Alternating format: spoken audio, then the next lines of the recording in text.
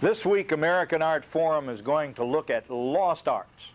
My first guest, Ben Crump of Meredith Long Gallery in Houston, Texas, and I will discuss forgotten American artists of the 1920s, 30s, 40s, and 50s. Then, after a break, I'll be joined by Andrew Hoyem of Arion Press in San Francisco. We'll discuss the preparation and publication of limited edition fine art books, so stay tuned. The show will provide a lot of information, and if you get a pencil and paper ready for later in the show, then you'll be ready for my exhibition listings.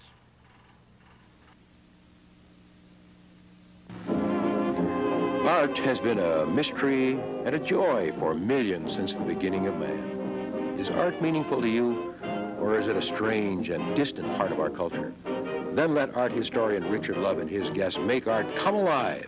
By exploring every avenue of the American art community, Love focuses on its makers and shakers, its traditions, and its innovations. You may not always agree, but you will like what you see on American Art Forum. Now here's Richard Love. Here in the United States, there are surprisingly few art galleries which concentrate their attention on American art. But Meredith Long and Company in Houston has been specializing in the buying and selling of American art for over 20 years. One of Mr. Long's favorite projects is the rediscovery and promotion of once well-known artists, something like what I've done over the years. Anyway, this week Ben Crump, the gallery's director, is here to share with us some of the gallery's favorites and, of course, the ideas by which all this happens. Ben, welcome to American Art Forum. Thank you, Richard. It's, it's sure, nice to be here. It's sure good to have you after I saw you over at the over at the expo uh, some time ago. Uh, now here you are in Chicago enjoying uh, good weather, and uh, uh, I know that uh, between Chicago and Houston there's not much. You stand pretty much as one of America's leading galleries, and in Houston I don't think you've got a whole lot of competition, do you? No, not really. We have a lot of very good galleries, Richard, but we have no competition really when it comes to the expertise in doing the art that we represent from the 19th century masters from Luks, Bellows, Shinn, Cassatt, right on down through the 20s, 30s, and 40s to the American uh, Motherwells, uh, Olitskis, Dan Christensen's, Huto's, right on down the line to the young Texas artists today. So we have quite a statement. Basically, then you're talking about pretty much the cream of the crop from late 19th century. Is it fair to say late 19th late century? 19th century.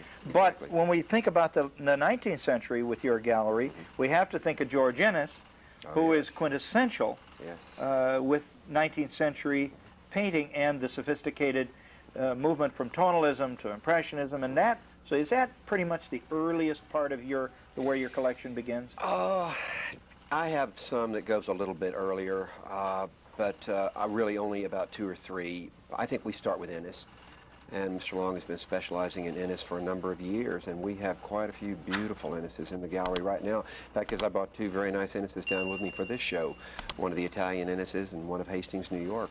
Now, uh, Ben Crump, you are basically the director of sales Correct. at Meredith Long Galleries. That you have You've uh, you didn't just start there. You've you've been elsewhere prior to that, haven't you? Yeah, I worked with a very very dear lady that I believe you're going to be interviewing later on, the name of Betty Moody, and I got started with Betty, and then switched over when the opportunity came to Meredith because it was a good growth period for me, and it was a period that I wanted to get into and expand my expertise, and it was a marvelous opportunity, and I've been with Meredith going on eight years now and hope to continue it for a while. But your job is selling art, and I think it's interesting for many of our viewers. You know, if you're if you if you're selling art, so many people come to me and they say, "How do I get into this thing?" Mm -hmm. So now here's a man who can tell you all about it. But I but I think that your your expertise is double fold, and it might do some of our viewers out there uh, some good to hear about how you've done it. And you have a background both in art history and in business or economy, isn't it? Well, it was in business administration. Mm -hmm. But I got into the art field, as I was telling you earlier, strictly because I became a collector. Mm -hmm. And I started collecting prints.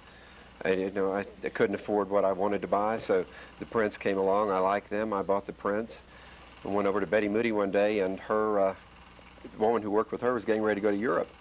And I said, Betty, you can't stay in this gallery by yourself. you got to have somebody in here to help you. The rest is history. And bingo. now you've been bingo. with Meredith for all these yeah. years. Um, the uh, prerequisites for selling art, naturally you have to love it, as you've just indicated. Mm -hmm. You started out as a collector you have to know something about mm -hmm. it. Mm-hmm. Um, but the business admin degree must have been very, very helpful for you. I was in retail for a number of years before, so I did have a good sales background, and I, I think it is very necessary that you have a sales background. You've got to be able to deal with the public. You've just like it's really no different than working Any anywhere else. Anywhere right. you go, you've got to be able to handle the public. Let's uh, show our viewers some of the some of the slides that you right. we brought along, uh, and some of these works. Well, all of the works are very important. We're, the first one is by Morton Schamberg, and we Oh, should yeah. look take a look at that. Uh, then we've got another one later on we're going to show. Uh, but let's take a look at the Morton L. Schamberg uh, slide if we if we can. We're waiting for that to come up on our viewer. While we are, uh, would you not say that Schamberg is um, is pretty much representative of these, uh, well, 30s, 40s, and 50s group Yeah, that you specialize in? Yeah, he is. Sch- Schamberg is a bit more f- the fluid in, in, in not quite as hard edge or mecha- uh, mechanical as some of them get to be. But he is, yeah, he's a good example of it. And this is an early one. Well, uh, unfortunately, we must be having some problem because it's not coming up. But let's Well, also it- talk. But we- trust us, it's beautiful. well, we're going to see it. We'll, we'll just wait for it. But we have another one we're going to show, Man Ray. Again, uh, works by masters from the 30s, 40s, and oh, here we have the Schamberg the now. Schamberg. Okay. Right. Now, now, how big is this piece uh, That about? piece was very small, Richard. It was about about a four by six inch. Hmm. Not very large at all. And not, and let me take that back, Richard. That was about a six by twelve. Let's let's let me correct that. It's got you see so many. You know, you, you you get. Wait a minute now. Which one is this? Real here, but brilliant electric colors. Uh, going back this early, almost a uh, almost a, a geometric abstraction. Although we're working with the representative It- it, you know, representation. it also gets. It's almost very industrial in feel. Oh, Richard. indeed. Very much You so. have to think of Sheeler and people like sure, that. Sure, Yeah. The colors are marvelous on this. And this is also a pastel, Richard, and it's a very nice one. And I think, if I'm not incorrect, the date on this one is about 1923. Yeah, I think it's dated up there at the top, but again, very early. I'm simply getting a, trying to get the point across that what with this industrial look, these these man-made objects, Mm-hmm. it comes off almost. You can't help but be reminded of some of the color field painters and the Target pictures. exactly. Very No, sure, advanced very idea and so. composition. Let's uh, let's quickly jump to another piece that you had. Uh, at the International Exposition, a work by Man Ray. Oh. Uh, what a great painter! Uh, do you have many works by Man Ray? Here it is now. Oh, the- that's this is from the Revolving Door series, and uh, I, it was very interesting because we later found out that the true colors that come up in there through the years that this has faded, and where you see the oranges were once brilliant yellows, and some of the great the, oh the tones over there next to the grays were greens, and they were they were really quite brilliant. So you had to clean it. No, it has not been touched because this these this is a collage, I see. and it's faded through the years. I see. But they're really quite lovely. When you say collage, what are the uh, additive uh, uh, materials? Oh, Is this one was just cut out paper? just strictly like a cardboard paper. And how big is the piece? Is it a, is it That the piece structure a- on canvas? That painting was about a 24, 24 18 by 24. Hmm. It was a larger one, and it was very nice. And this was a series called the Revolving Door series. Do you have others from the series at the gallery? I have a few of the Revolving Door series. I have the Man Ray, the photography book, uh, what he, that he did with those wonderful puppets, the sort of naughty ones we say. You know, when you when we think about that kind of work, it's so exciting to see that so much was being done. It's almost a period of total flux. Mm-hmm. When we're talking about after the Depression, up until say 1950, Mm-hmm. uh, people love to begin it post World War II. Oh. Well, that's fine, but what a tremendous area of flux. I mean, it was just it was just a state where it wasn't the pluralism that we see today, Mm-hmm. but it was where the lingering aspects of impressionism and all that sort of thing would would just back up and against a fence and and uh, so so many times the exhibitions w- would exclude those kind of people. Other times it uh, works by people like Man Ray were the only things that were accepted. Do you see an opening up in appreciation of this period? Is that why you're special, or is it Meredith's special idea? Well, Mr. Long has always had an extremely good eye for these things, Richard, and he's a very knowledgeable man. And I think he saw years ago the importance uh, that these paintings were going to be. And it's like it's like so many things. Americans have always has sort of had a snob appeal, you know. And if, if there was this generalization that if it didn't come from Europe, then you know they didn't want to have it. How true. And, and it's a very sad thing. And now it's been brought to light that these paintings are as, ex- as important, If not more. if important. not more important, than a lot of the European painters were at the time. Well, are you finding, you know, unfortunately, Houston has the reputation for being, uh, well, the, uh, it has an elitist group in the cultural. Is that is that true? Can you say that? I don't, I don't know that I see that so I've, much. I- really? Yeah, I've, I've heard that there's a, a kind of a cliquish uh, group who fairly runs the, the cultural end of things. What I'm trying to get at, uh, in Chicago, in New York, you'll always find a certain group uh, who seems to be the friends of American art here, the friends of American art there. But we, generally speaking, it seems that there's a much greater acceptance overall now of art. Mm-hmm. And with these people of the post-war era, Mm-hmm. I'm just wondering, do you see, I mean, it's not necessary to go to Picasso anymore, is No, it? not at all. It's not necessary to, uh, when we're looking at Arthur Dove or we're looking at Man Ray, we Mm-hmm. Sure. Mm-hmm. can see them with the same dignity. Uh, is that true in Houston?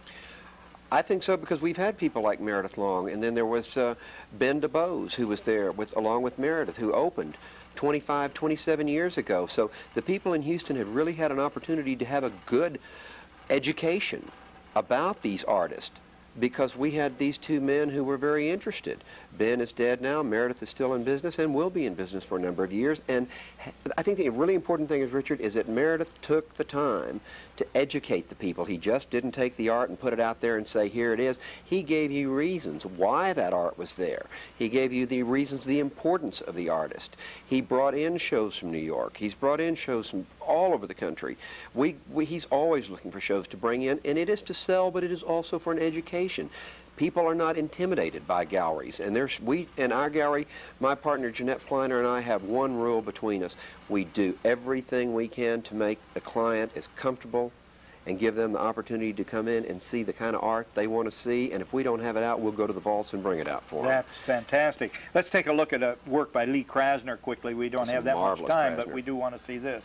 What a powerful Isn't that picture. an incredible What's the medium? This, it, th- there's a slight impasto on this. It's an oil on canvas. How big is it about? This one is about 36 by 48. good-sized canvas. It's a good size canvas. And I, th- I like this very much. In the show that we just finished for Lee, there were two that were th- this charcoal coloring, and the colors just zapped out at you. And we had a, a lot of uh, drawings, black and whites, and also colored pencil drawings. And this was from an early period of hers. This was about 33, 34.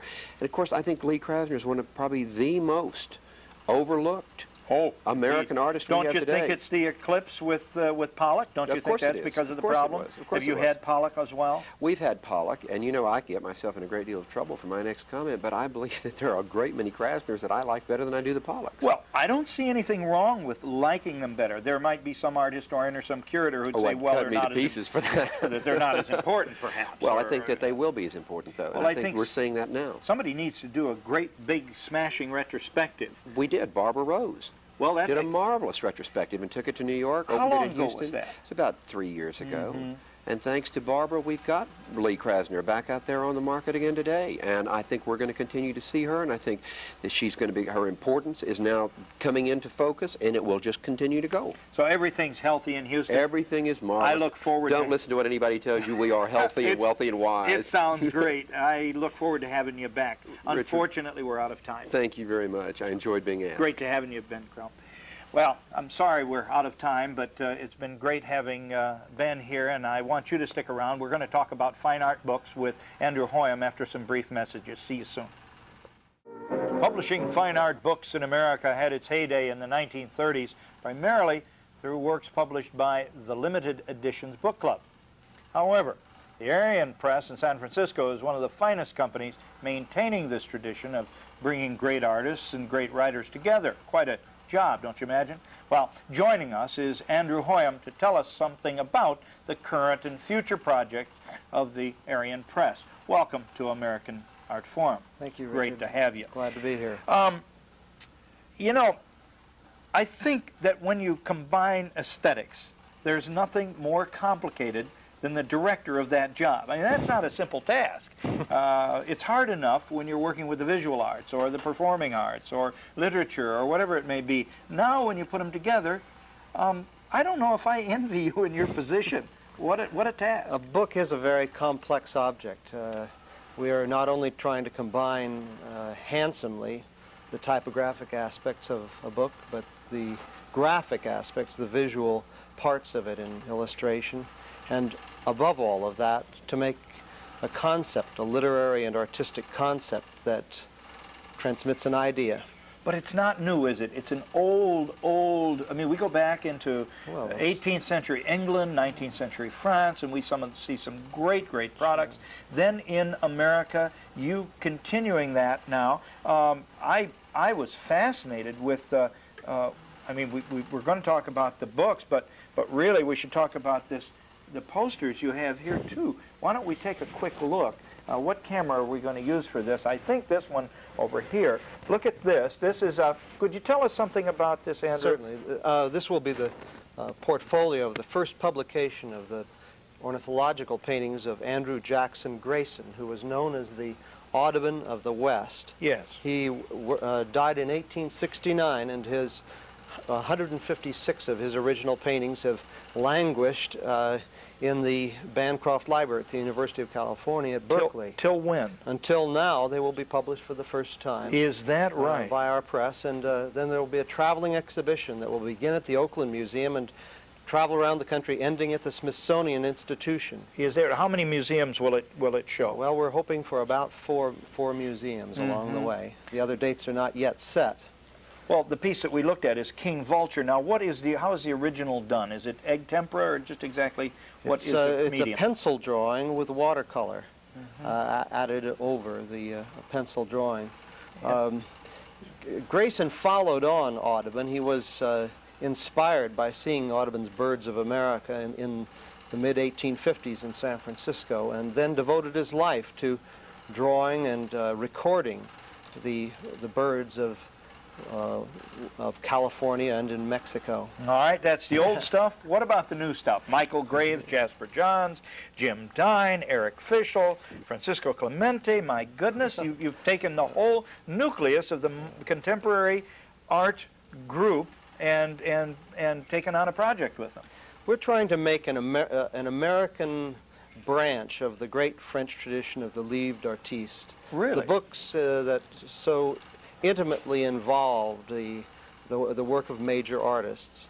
Um, I suppose the first artist that I really became involved with in this very uh, deeply collaborative way was Jim Dine, and he and I did uh, an illustrated edition of the Apocalypse, the book of Revelation, from the Bible with woodcuts that uh, Jim Dine uh, cut especially for the book, and they were not printed anywhere else except in our limited edition of 150 copies. So we actually are seeing a graphic production of 150, a limited edition of 150. Must have been some overruns in case of problems with the books, but generally 150.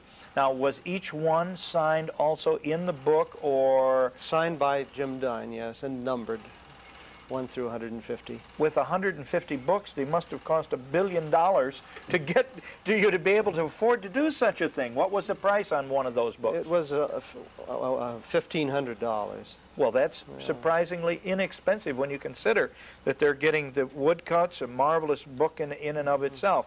Um, you've also worked with Jasper John. Yes, and I can show you that book. I happen to have a copy along. It's a, this is an edition of the selected poems of Wallace Stevens. Why don't we hold it up to this camera right here, and and then tip it up just a little bit. Wallace, it ha- Stevens, what a it has a beautiful uh, frontispiece by Jasper Johns, which he made especially for this book. It's an, it's an etching that was printed at uh, Universal uh, Limited Art Editions in, uh, in West Islip. There's the Arion Press, San Francisco, 1985. And as we continue, go ahead.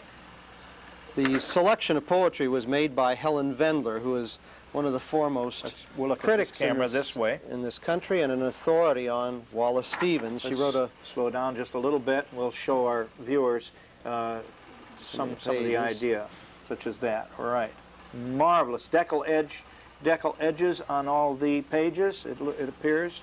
I guess it's, not deckle edge. Yes, it is. It's an English mold-made paper, It's a marvelous. and uh, the type is of has quite a lot of handwork. Some of it is hand set, and it's printed by letterpress. all right, tell us tell us something more. Uh, what you, uh, well, you worked with Jasper Johns, for example. uh, the famous Johnsonian attitude, as they say, where he says very few words. Um, that's a big project. When you're working with someone as, shall I say, eccentric as Jasper Johns, uh, this, this is a long-term project, a lot of complicated procedures to go through. Uh, you frequently have to work with temperamental or eccentric people. Um, you are the liaison, in effect, are you not? You're the designer. You're the you're the whole thing in a in a, in a ball of wax. The- Well, f- Is for- fortunately, the the artists that I've been working with have been a joy to work with. Uh, Jim Dine and I have become quite good friends over the years. We've been working together, and now I'm starting to work with Eric Fischl, who is a very likable fellow, very And sensible, very and a- popular and a, right and a, now. and a, and a magnificent artist. We're working together on an edition of Lolita, and uh, Eric Fischl will make a suite of prints that will illustrate Nabokov's great novel. so is that in the works already? Uh, well, Eric Fischl at the moment is in France doing preliminary drawings for the prints, and I hope that we will be able to bring it out next year. Our current project, if you Sure, we'd love to see it. The, the big sleep. is the Big Sleep of Raymond Chandler. And now uh, that's this year. Yes, it will be this year. published Let's in hold it up June. straight for our viewers to see. the All right. binding is of plexiglass. Yes, it's a very what is unusual that binding. strange stuff? it makes a it makes a, a funny a funny sound. It, it's it's almost uh, well, it's plastic. Yes. What an with, unusual with a binding. silkscreen title. The the book has been Let's, designed let's turn in it a this way. In Oh, a rather modern way, as you could tell from the cover, and it's been illustrated let's with hold, let's hold it right there. uh, there we go. Okay.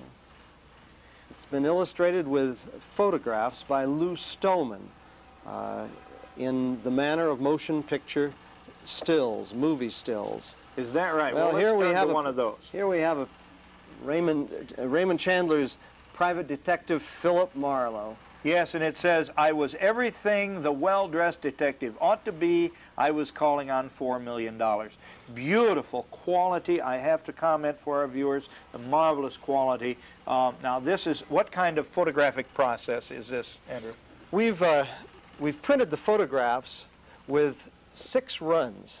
First of all, we laid down two opaque white uh, runs on each page underneath the photographs, and then over that a blue-black duotone, and over that two runs of varnish, so that these photographs look as much like original photographs as I suppose you could manage within a, a book that was printed on uncoated stock. Yes, indeed. Marvelous, marvelous. Um, uh, when you when you take on a project like this, you have to worry about the copyright. Uh, you have, as far as the liter- literary end is concerned, you have to worry about the quality of the paper. You have to worry about the layout and design. Uh, is that completely and totally handled by you? I, I, I have a team of five people working with me, and, and we all contribute. Uh, and since we're doing three or four books a year, we must overlap in our responsibilities. But yes, we do coordinate all of the matters of obtaining the text and permissions and From the stand, from the commercial standpoint, um, are they usually sold out? Our, I can claim that all of our books sell out eventually. Some of them sell out very rapidly. Uh, the Wallace Stevens book, published in December, sold out in about two or three months. So the big job then is to make sure uh, that it is a commercial success, so you can continue with, your, with Yes, the rest so of we them. can go on with more books. Exactly. Um, why not larger editions? Uh, the books that we produce with original prints are sometimes limited to, let us say, 150 copies because of the methods of printing, so that we can guarantee to our customers that the quality will remain high throughout the edition. We did an, uh, an edition call, uh, called The Temple of Flora with Jim Dine, with, for which he made uh, dry point engravings on copper plates. And by printing 150 copies, we were, I think, going toward the upper limit of what we could make for the fidelity. Strictly to maintain that old Ruskinian quality that we that we look for in uh, in, in great works, Sure. well, books, which include works of art, I should say. Yes. When, and when we produce a book like The Big Sleep, we'll go up as high as 400 copies, but that's my upper limit because I feel that with 400 copies, the human attention span will be maintained and that we in our group will be able to watch over each copy in the edition Can- so that it comes out as Can- well as, as, is, as is humanly Indeed. possible. Can people find these on book stands? There are rare book dealers. Very, very, very and special some art book dealers who, who carry them, But but, they mostly they come to the press. And they can contact Arion Press in San Francisco Yes, for, for uh, any information, can they not? That's right. Andrew Hoyem, it's been great having you on American Art Forum. Hope you'll be back again Thank one you, day. Mr. Love. Unfortunately, we're out of time, but uh, uh, of course, we'll return again next week. Hope to have you as our guest. I'm Richard Love, inviting you back. Till then, have a great week.